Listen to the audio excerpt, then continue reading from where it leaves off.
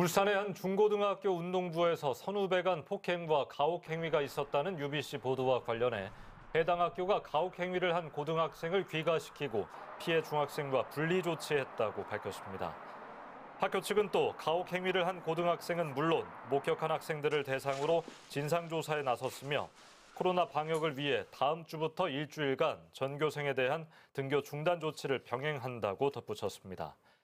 울산시 교육청과 강- 강북교육지원청 그리고 국가인권위원회 스포츠인권 특별조사단에서도 관련 사안에 대해 진상조사에 나섰습니다.